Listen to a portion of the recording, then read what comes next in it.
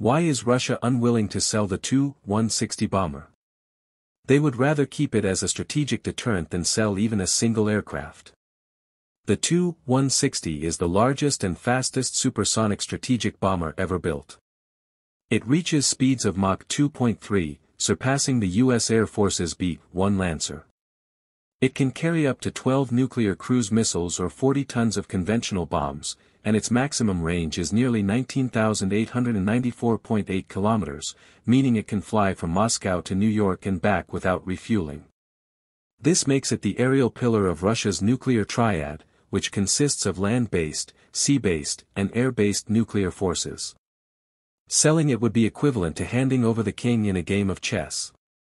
The Tu-160 is equipped with advanced avionics, relatively stealthy design, and cutting-edge electronic systems, making it a nightmare for enemy air defense systems.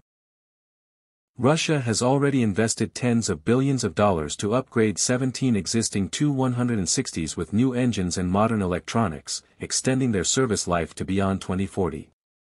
Today, each Tu-160 costs over 600 million US dollars. Selling even one would not only weaken